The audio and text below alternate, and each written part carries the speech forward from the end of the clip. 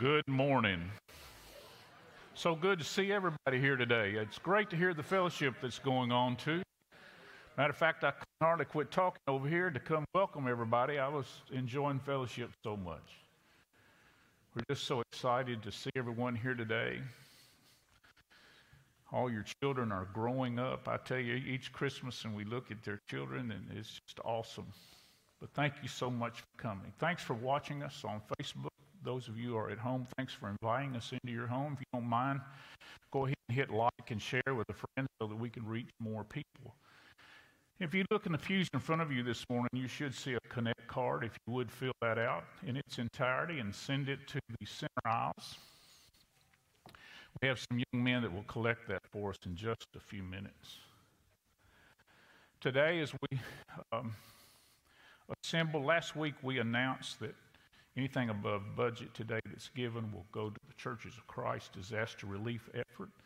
Uh, we have witnessed what they have done so far in Western Kentucky, and we're just so pleased with that work. So anything that's given above budget today will go to the disaster relief effort to help those that have struggled from the storms this year.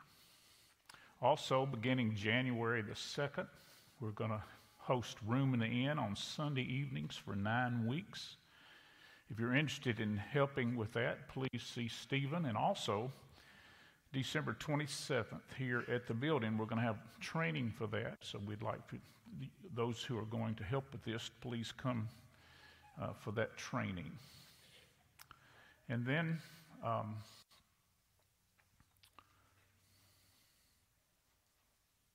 hmm.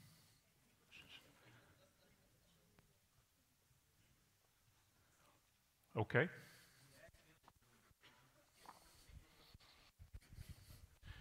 I didn't hear you. Gotcha. Come on up and we'll, let's all stand and sing, please.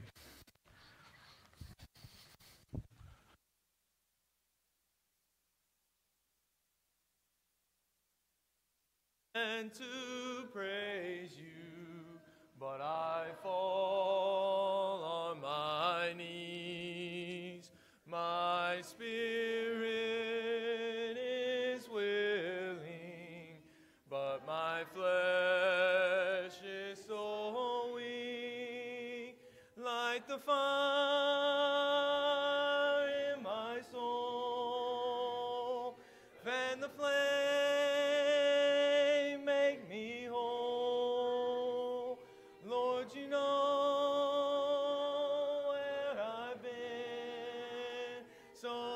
so light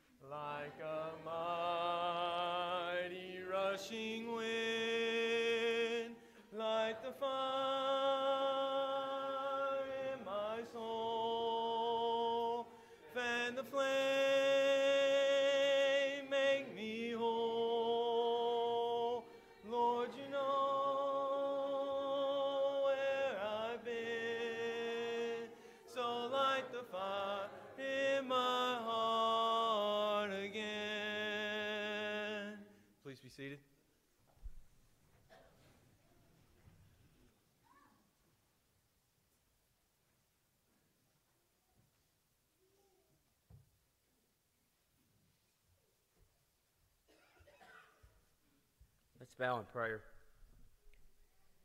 Father, thank you for this beautiful Lord's Day. Father, we thank you most importantly for Jesus who died for our many sins because it's through him we have salvation. Father, thank you for blessing us each and every day. Thank you for letting us come here to sing praises, worship your name, and hear the lesson today.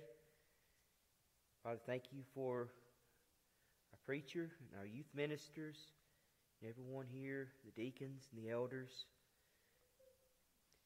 I know they have to make tough decisions. Father, also be with those that were impacted by the storm this last couple weeks ago. Be with their families.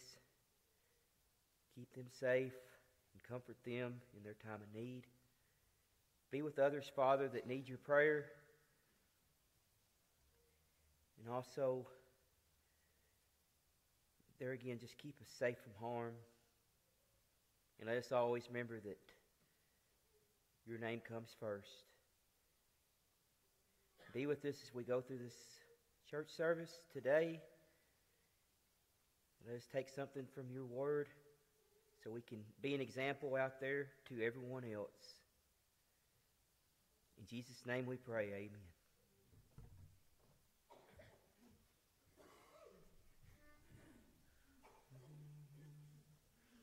Your only Son, no sin to hide, but you have sent him from your side to walk upon this guilty side and to become the Lamb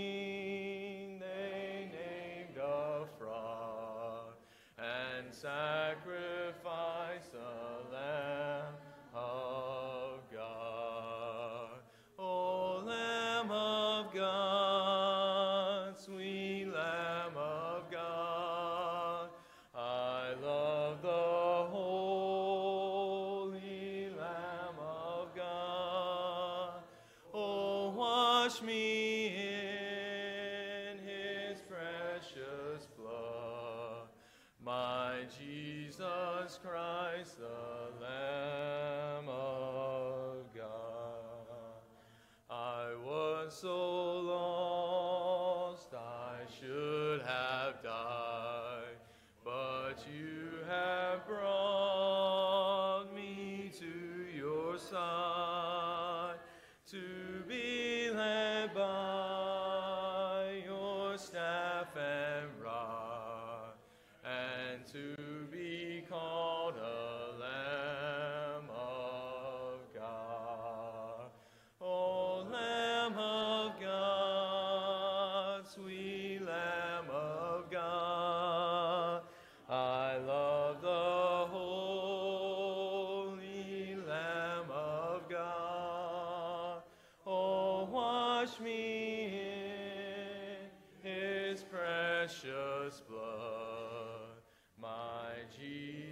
Christ, the Lamb of God.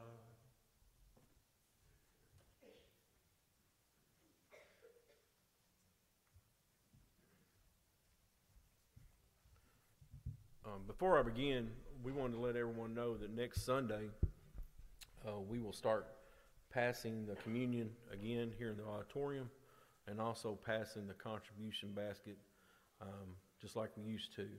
So there will be no longer available the communion cups out in the foyer. We'll all be doing that inside the auditorium at this time. At this time, I'd like to reflect on that song that Colton just led us in. It's one of my favorites to get us in the mind of taking communion uh, each and every first day of the week. I want to read you this uh, little excerpt of why he is known as, why Jesus is called the Lamb of God. When Jesus is called the Lamb of God in John 1 and 29 and John 1 36, it is referring to him as the perfect and ultimate sacrifice for sin. In order to understand who Christ was and what he did, we must begin with the Old Testament, which contains prophecies concerning the coming of a Christ as a guilt offering in Isaiah 53:10. In fact, the whole sacrificial system established by God in the Old Testament set the stage for the coming of Jesus Christ, who is the perfect sacrifice God would provide as an atonement for the sins of his people. Romans 8 and 3 and Hebrews 10. As we've reflected this moment in time of the Lamb of God and what he meant for us and what he did for us in sacrificing himself upon Calvary's cross, let's go in prayer and thank him for establishing this communion that we can do in his remembrance. Let's pray. Dear Father, we thank you so much for your Son, and we thank you so much for him giving of his life for our sins. And dear Father, at this moment in time, we partake of this bread, which remembrance of Christ's body hanging on Calvary's cross.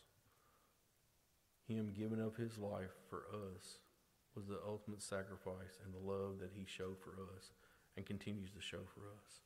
And it's through us that we can show how we love him so much and to honor him during this time of remembering his death and burial and resurrection.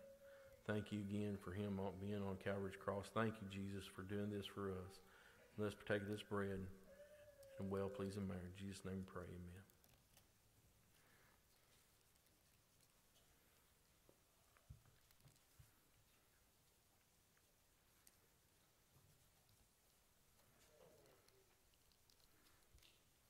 Dear Father, now we partake of this cup, which is in remembrance of Christ's blood shed on the Calvary's cross, the blood that was shed for our sins. Dear Father, again, let us reflect upon that day and thank Him for everything that He has done for us and continues to do for us.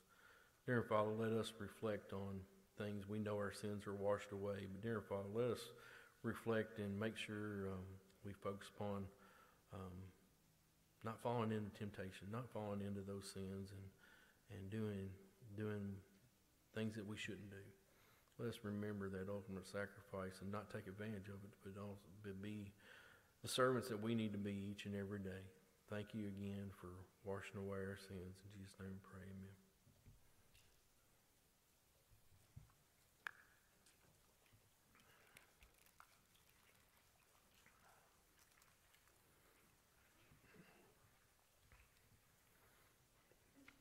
As I said, next week we'll start passing the basket here in the auditorium, but if you are watching at home on Facebook and unable to join us, you can still um, share your contribution by those means on a, on a weekly basis. And uh, we'll take care of that for you. You can contact us in the office. Again, uh, as Steve mentioned, uh, anything above the contribution this morning, budget contribution will go to our disaster relief um, help for the uh, local communities around us. Let's pray. Dear Father, again, we thank you for this time that we get a chance to pause and think about all the good that you have done for us, the blessings that you have bestowed upon us, and, and everything that, um, that we have, dear Father. But we know everything that we have belongs to you, and that we need to give back, give back towards that. And dear Father, we are um, in the giving season, and we need to remember that, and we need to be thankful of everything you have blessed us with whether it be a toy, whether it be our houses, whether it be our cars, clothes on our back, whatever it is, we're so thankful that we have a means to provide for ourselves. And we think of those around us that are less fortunate of us. We think of those that are, um, are struggling to get back uh, to where they were. And it'll be not only today, not only tomorrow, but way into the future. It takes time to rebuild and, and to uh, to come back to a place where you were. And maybe, maybe maybe some of these people might not get back to that place, but dear Father, whatever means are given through Church of Christ Relief or other or other organizations or other monies, we just pray that pray that everyone is um, blessed through blessed through these contributions.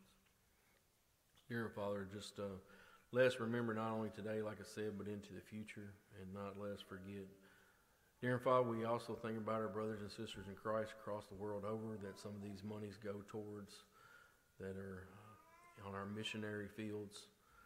Uh, saw reports from Dale this week about the Philippines getting hit by a tsunami or a, a, a typhoon over there, and some of them have lost their church buildings. And I know money is being raised for that as well that uh, can be helped. We, our brothers and sisters in Christ here in the United States that take care of our missionaries abroad and here in the States, let us remember them during this time as well. Dear Father, we also this uh, contribution be a means to uh, take care of the the mission point here at Franklin, and let us uh, make sure that we use this money well, make sure we use it wisely, and make sure we uh, spend it on the things that we need to be spending it on, and that's the growth and continued uh, outreach of your ministry here that we're providing through our church. Thank you again for all that you've given us. In Jesus' name we pray. Amen.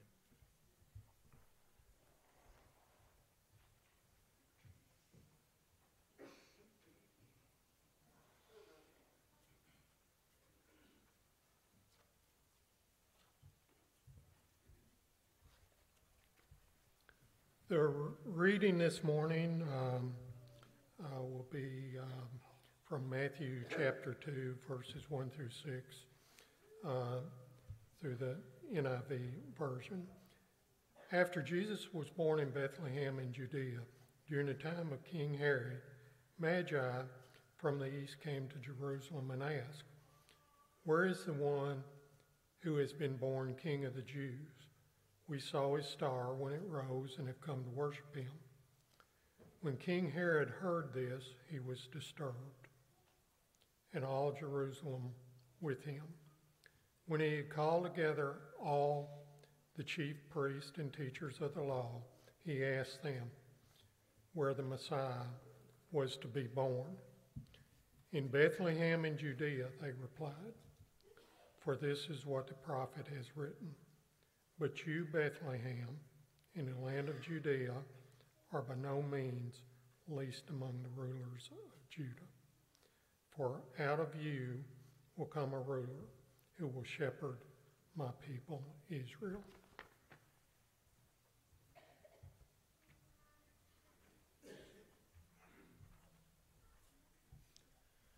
Sing to me of heaven, sing that song of peace. From the tolls that by me it will bring Burdens will be lifted that are pressing so.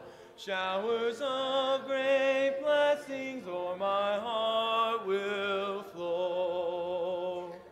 Sing to me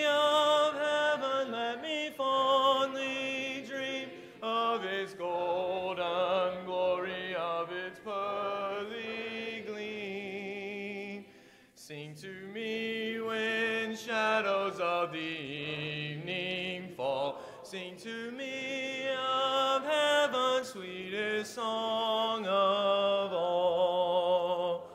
Sing to me of heaven as I walk alone, dreaming of the comrades that so long have gone. In a fairer region among the angel throng, they are happy that old sweet song. Sing to me of heaven, let me fondly dream of its golden glory, of its pearly gleam. Sing to me when shadows of the evening fall. Sing to me of heaven's sweetest song. Sing to me of heaven tenderly and low, till the shadows on me rise and swiftly go. When my heart is weary, when the day is long, sing to me of heaven, sing that old sweet song. Sing to me of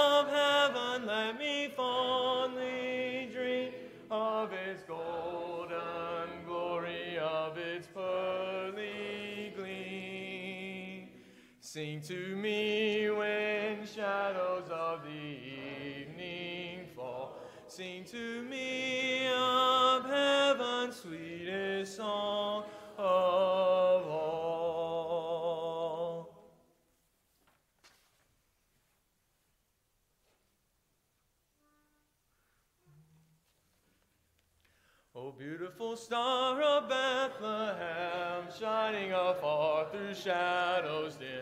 giving a light for those who long have gone, and guiding the wise men on their way unto the place where Jesus lay. Beautiful star of Bethlehem, shine on.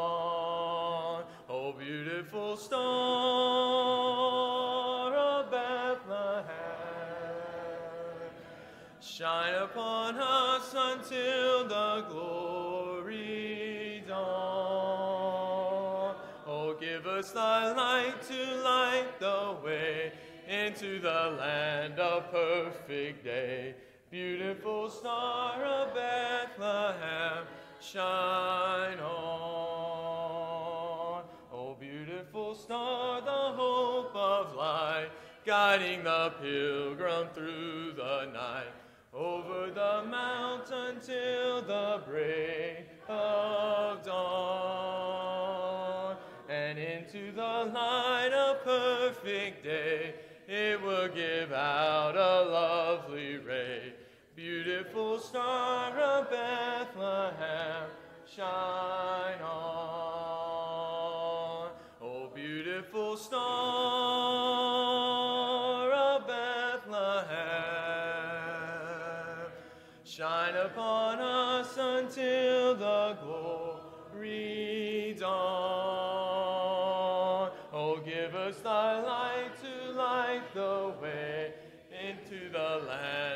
Perfect day. Beautiful star of Bethlehem, shine on. Oh, beautiful star, the hope of rest for the redeemed, the good, the blessed. Yonder in glory when the crown is won. For Jesus is now that star divine, brighter and brighter he will shine. Beautiful star of Bethlehem, shine on. Oh, beautiful star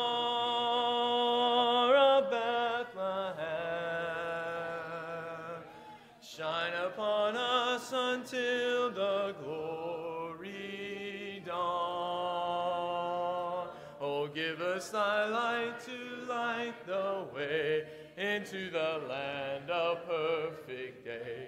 Beautiful star of Bethlehem, shine on.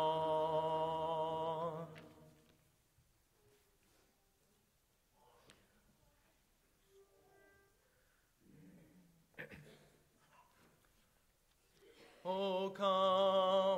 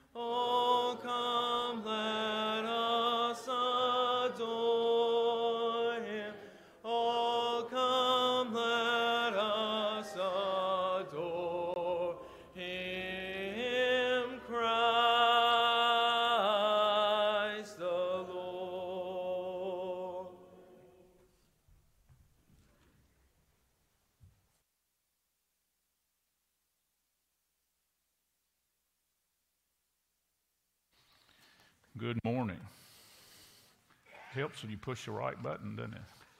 Man, yeah. Before we get started this morning, Jimmy Parker wanted me to tell you how much he appreciated the opportunity to teach to us from the book of James. We appreciate him too.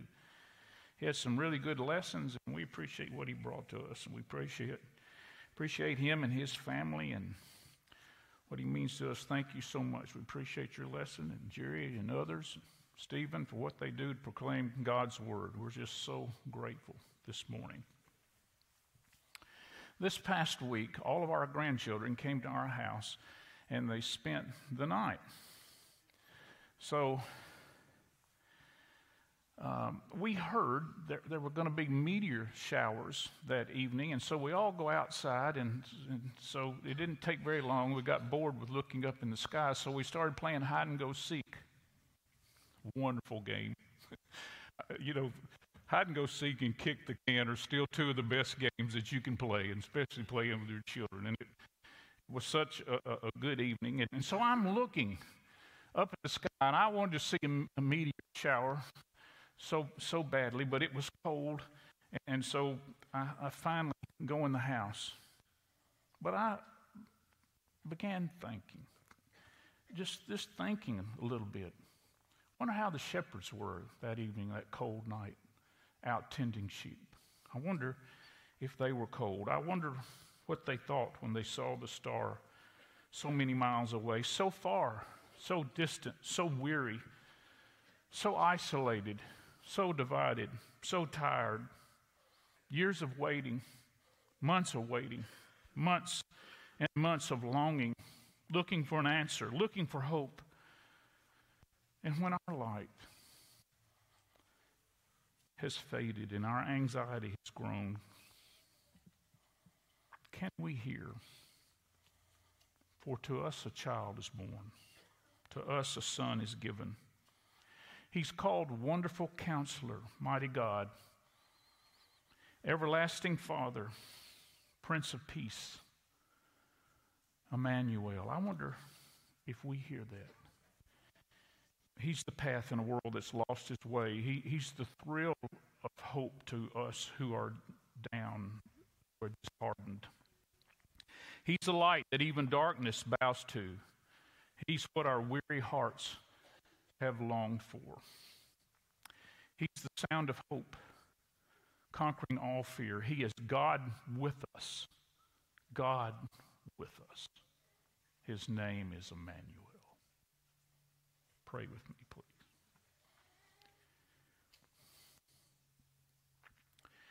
Father God, we thank you that we can be here together, together, and to recognize Jesus. That you are the King of kings and you are the Lord of lords. And we celebrate that you came as a helpless baby. You came as a lamb. You gave your life for us as a sacrifice for many. But we are also celebrating in this season that you'll come again. You're, you're going to come again. And when you come again, you're going to put an end to so much of all the, all the suffering, the sorrow, the pain of this world. So would you, Heavenly Father, in these next few moments, fill our hearts with hope. It's in the name of Jesus we pray. Amen. On December the 12th, uh, a group of about 35 people went caroling. We had so many, we went in two groups. and so we went to different folks and just had the best evening. We, we just enjoyed singing these carols to you. And we went out to, to Miss Avadale's and we were, we were singing to her. And, and Eli was leading our songs. And he would ask, Do you have any favorites? Or do you have any that you want to sing? And we'd say, Announce a number. And so somebody says number nine. And so we looked, and, and the name of that song was Oh Holy Night. And so Eli looks at me and goes, Mr. Steve, would you lead this one? So I led it. And it must have just been me singing because I didn't hear many others. And when we got through with the song, Payne Arnie goes, We wish you a Merry Christmas. We so I must must have done a good job, must have not done a good very jo- very good job of leading that song that night, but but we had fun, we had a big laugh about it. But tonight or today, I would like for us to sing that song. Oh Holy Night. It has a very beautiful meaning in it. We're going to talk about this song for the next few minutes. And it is one we don't sing here often. So let's sing that together. I can't see the screen that far, so I'm going to come down amongst you. As Jerry Clower you say, I'm going to come down here amongst you and we'll sing better. How about that? Oh, holy night, the stars are brightly shining. It is the night of the dear Savior's birth. Long lay the world in sin and error pining till he appeared and the soul felt its worth. A thrill of hope, the weary world rejoices, for yonder breaks a new and glorious morn. Fall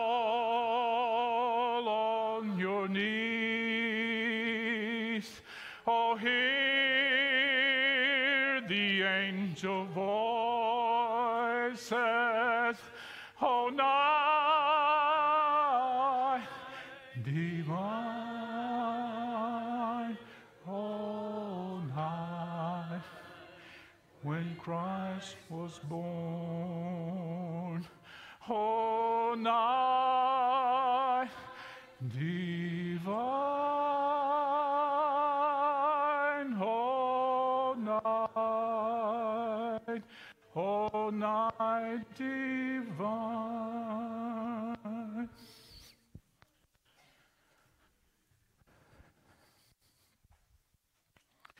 Thank you. I was reading a story about this song this past week. And in 1870, there was a war going on between France and Germany. It, it was called the Franco Prussian War. And as the story goes, they were fighting each other in trenches. And on that Christmas Eve, one young man from France stands up and starts singing to the sky, O Holy Night. Somebody in the German trenches heard him singing and recognized the tune. So they start singing in German. And all of a sudden, you have two groups of men that were enemies singing O Holy Night together. I, I, I just couldn't hardly believe that. Here, men had lost their lives. Thousands, thousands of men had lost their lives during that war. And to make things worse, typhoid fever killed about as many men at that particular time as was, that was lost in battle. Yet, because these two groups sang in unison, O Holy Night, they paused the battle for 24 hours. Isn't that amazing? Calm in the fighting, all because one soldier stood up and began to sing, O Holy Night. They were able to get their breath. They were able to eat a meal. they were able to find some hope, some joy in the midst of all that despair and death. And when I was reading that story, I thought about us. Here we are 151 years later, and we're wanting the same thing.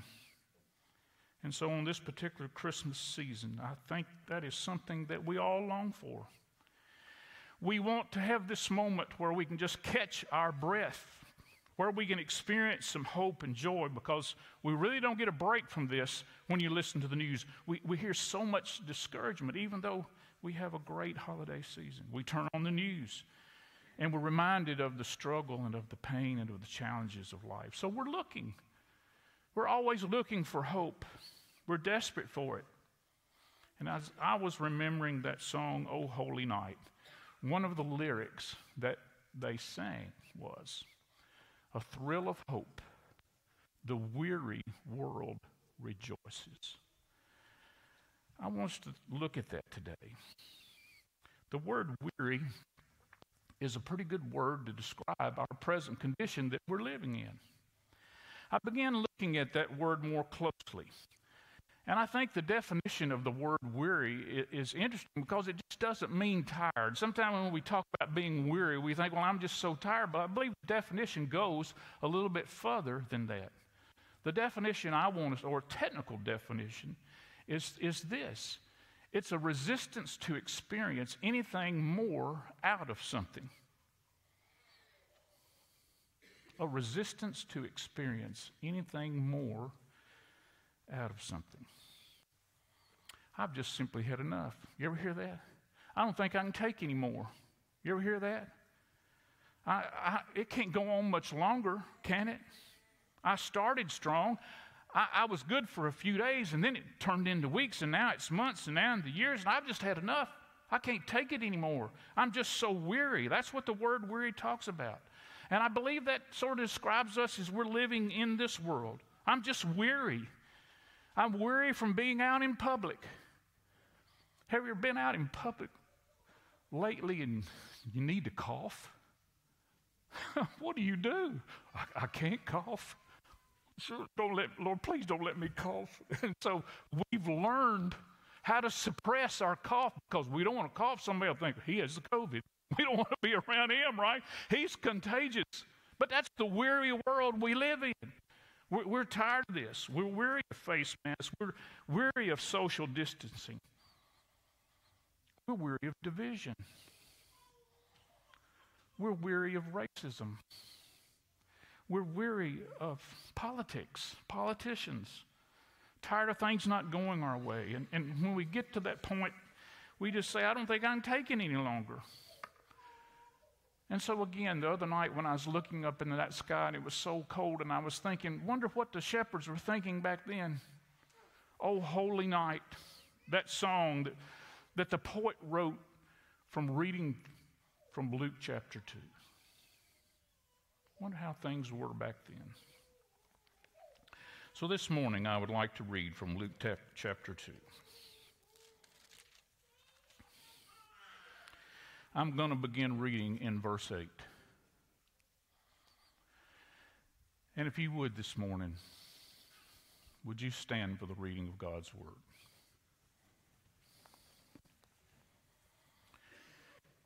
And there were shepherds living out in the fields nearby, keeping watch over the flocks at night. An angel of the Lord appeared to them, and the glory of the Lord shone around them, and they were terrified. But the angel said to them, Do not be afraid. I bring you news of great joy that will be for all the people. Today in the town of David, a Savior has been born to you. He is Christ the Lord.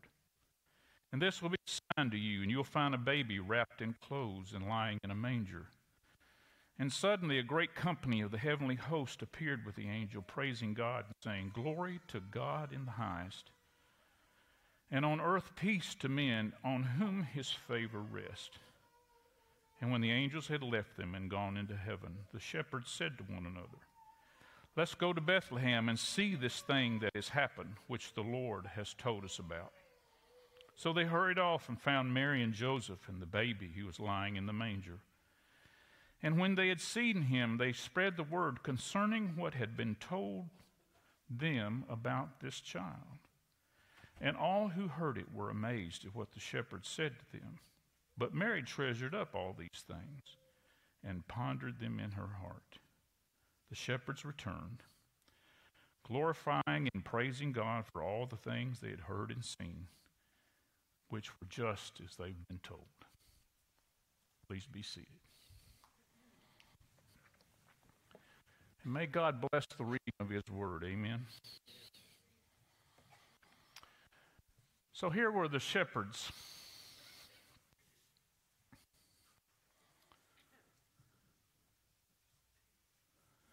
They were watching their flocks. They were watching their flock at night. When the angels' voices broke through and they, they had this message of hope. And I love what the song says here the thrill of hope, the weary world rejoices. And so I want to draw some attention, just a few minutes, to the lyrics of this great song. And of course, we've touched this. The weary world rejoices. I was trying to better understand the difference between being weary and being tired. Now, um, our granddaughter has a new phone. So we're going to text. we live in a world of texting, right? So I looked up some emojis. Here's an emoji we all know, right? What's this say to us? We're sleepy. This is a sleepy emoji, right? So we'll, we may send this to each other a time or two. And then if you Google the weary emoji, here's what you're going to get. You feel that way before? You see yourself there? Yeah, I think that's how a lot of us feel. But one of the things I want to remind us here is um, the world has always been weary. It didn't just start in 2021, it's always been that way. And so I think we forget that. The minute sin entered the world, it's, it's always been weary. And I, I know sometimes things happen to us and they seem to be worse than, than before, but it doesn't mean it hasn't happened before. It means it's happening somewhere. It may not necessarily be happening to us, but it may be happening to you. If it is, you're weary from it, or I'm weary from it. And so we, we certainly have a full understanding of what that face means to us when we see that. I also read an insert from a book called The Atomic Age. It, it was a book written by C.S. Lewis.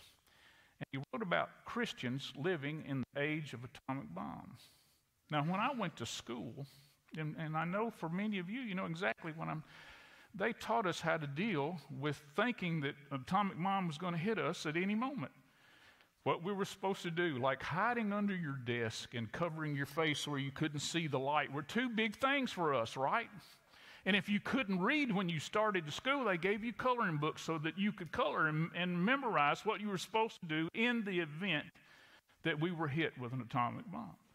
You remember when the Bay of Pigs happened?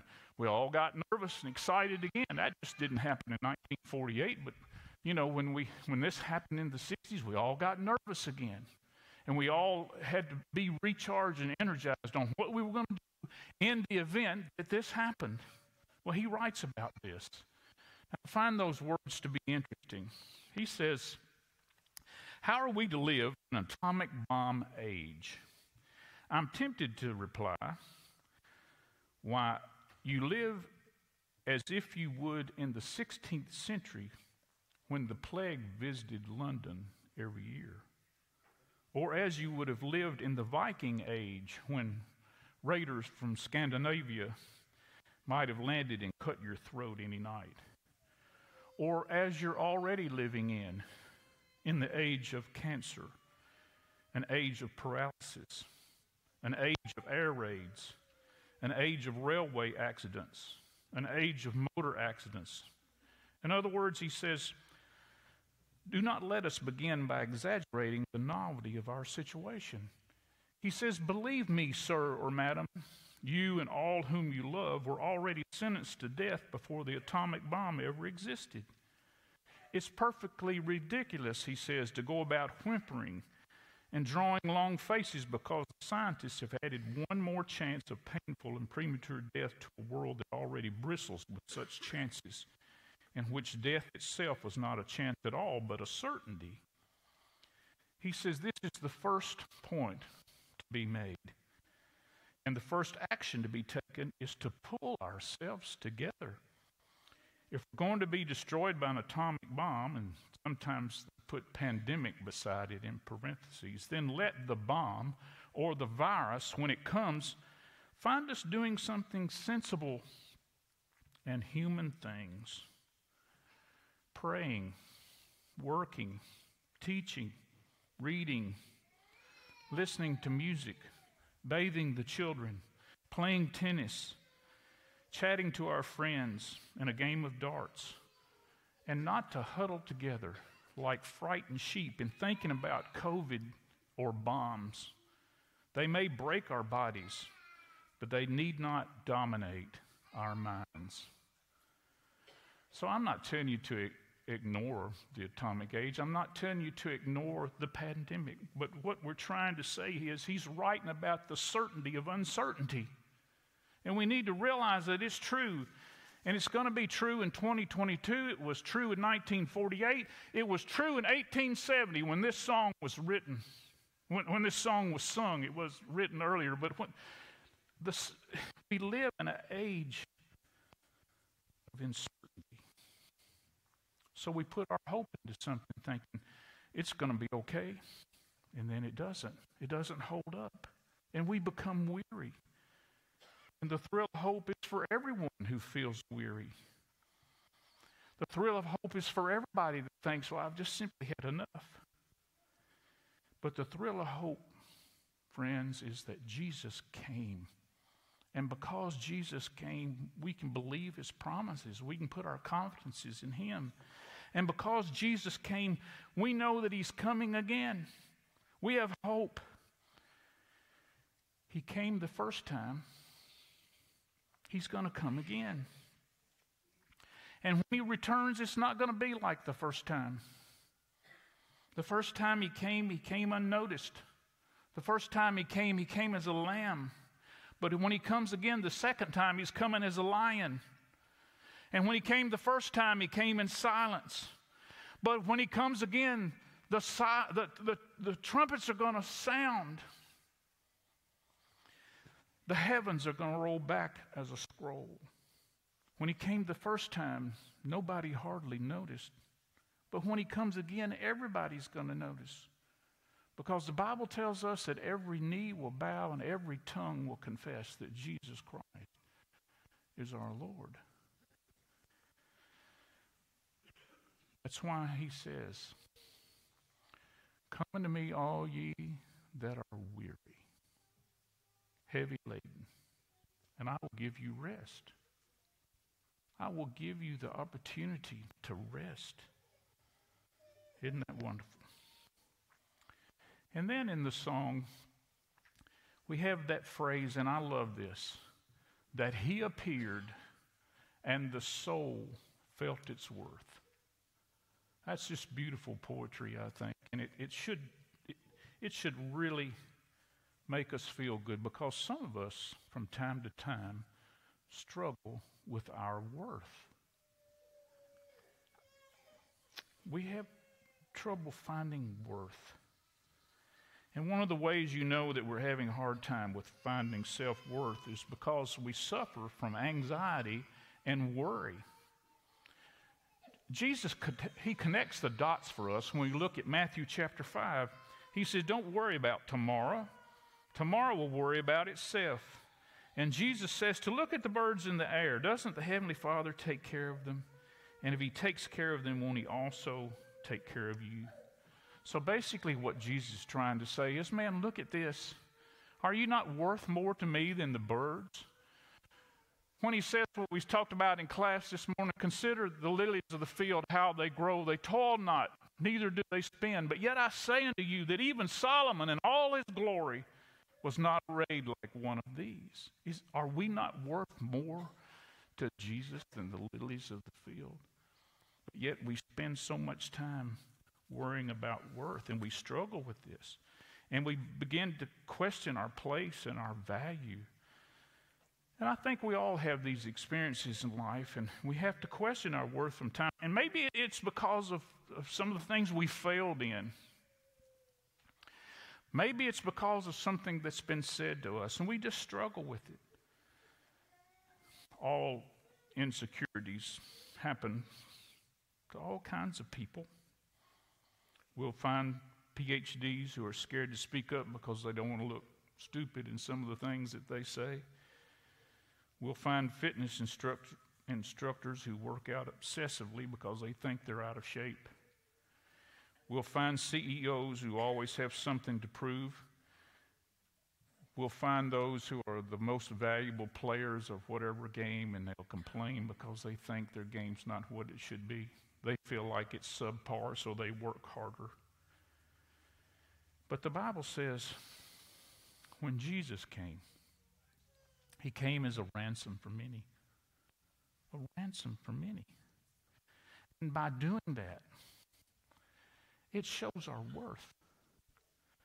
And we're worth more to Him than any of these silly things that we worry about. And we just need to know that the thrill of hope is for those who feel His worth. Just think about that. How awesome that is.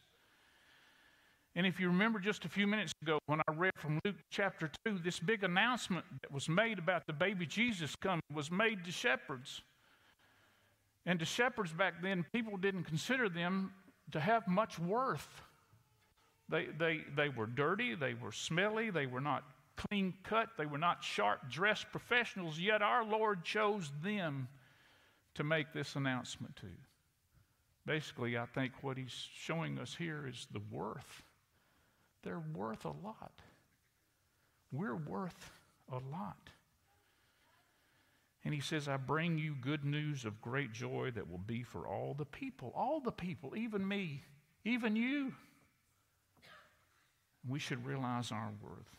And no matter who you are or what you've done or how you look or where you're from, the thrill of hope, the thrill of hope in Jesus is for you. Then there's one last stanza in this song I want us to look at today. He knows our need. To our weakness is no stranger. I never really paid much attention to that in this song before. That's, I, I really enjoyed looking at that this week, and I want you to consider what he's saying. He knows our need to our weakness is no stranger. And the thrill of hope is for those who are weary, for those who feel worthless, and for those that feel weak. Into our weakness, He is no stranger. So, what that means to us is Jesus knows exactly how we feel. Exactly.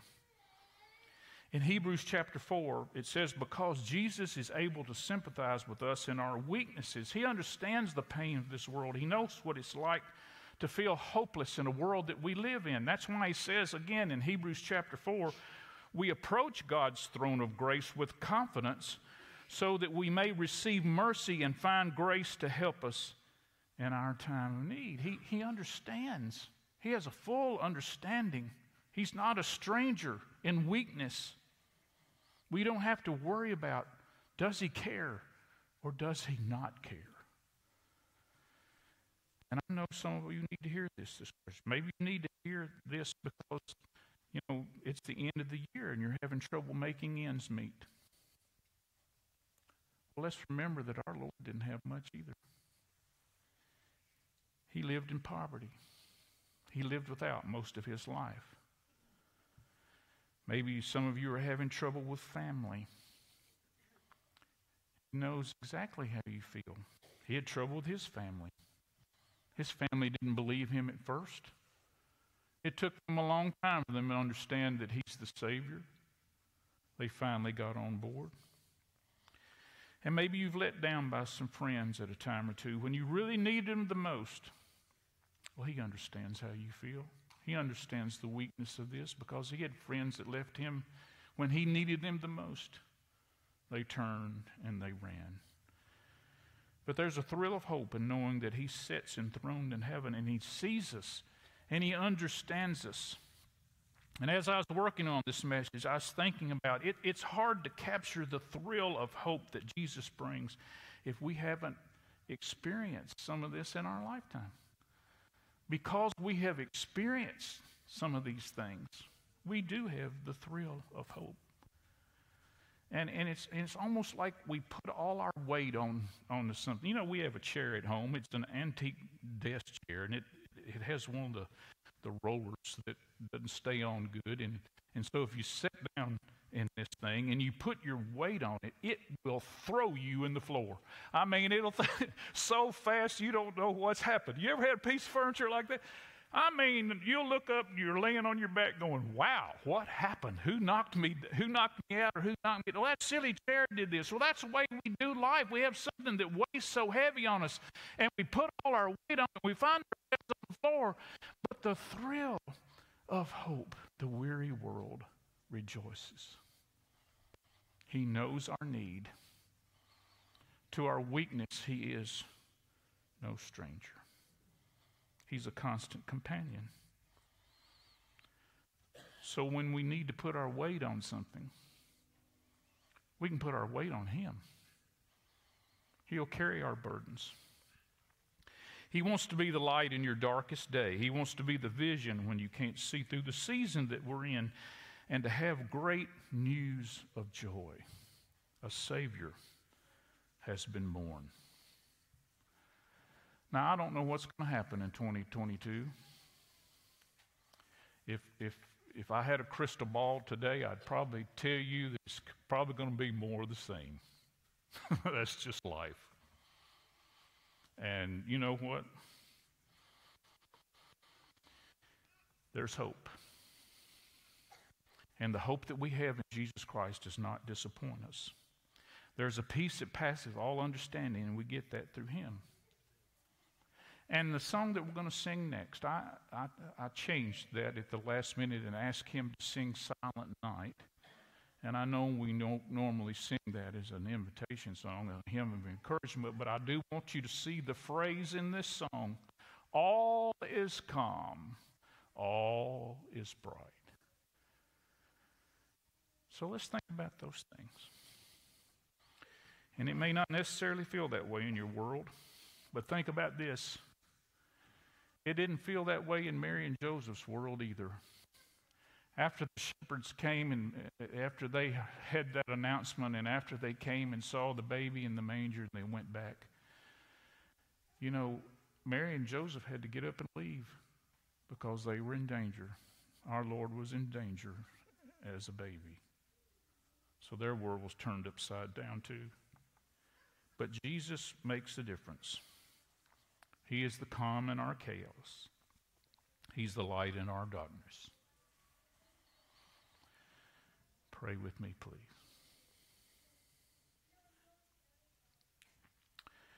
Father God, I thank you for your love. I thank you for your grace.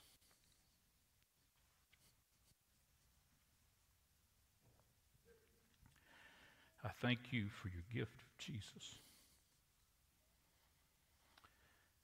And Jesus, I thank you for the fact that you forever established our worth.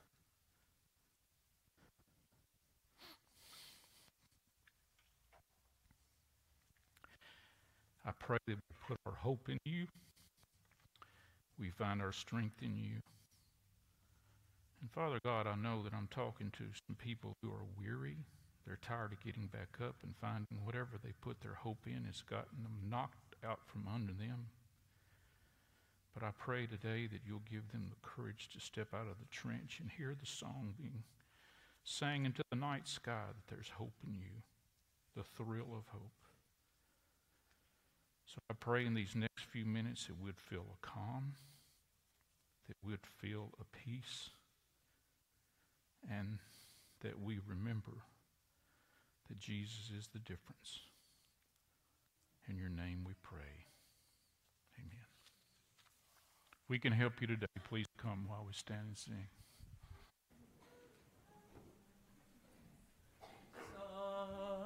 Silent night,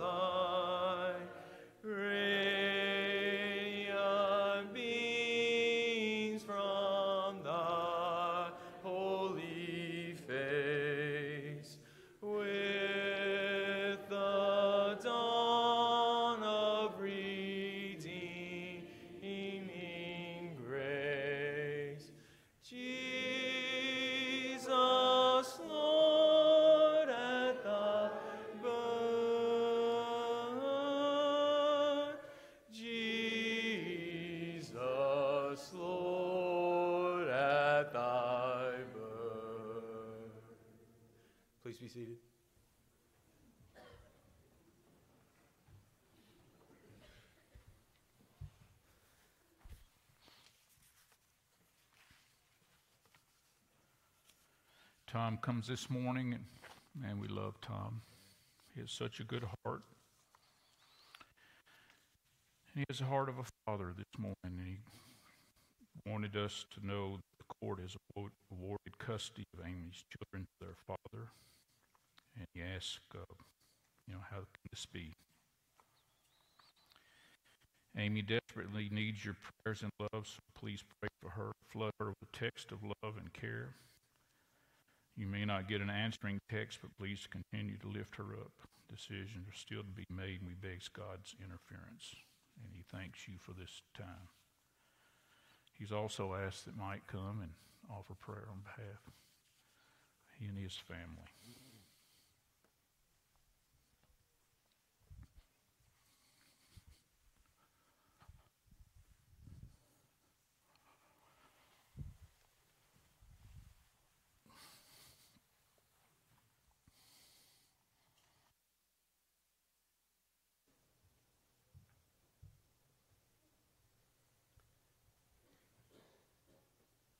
Would you bow with me, please? Our Father in heaven, you're so great. Father, we come to you this morning to just pray for Amy. Amy's weary. Amy's doesn't see much hope right now. Amy's lost her vitality and her vigor, and she needs rest. And Father, we just pray that you'll be with us as a church, that we'll all lift up our prayers to Amy. And Father, we know in your word that you say you're the one that can give us rest. And this is going to be our prayer for Amy this morning that you'll give her rest, that you'll restore her family and restore relationships that need to be restored.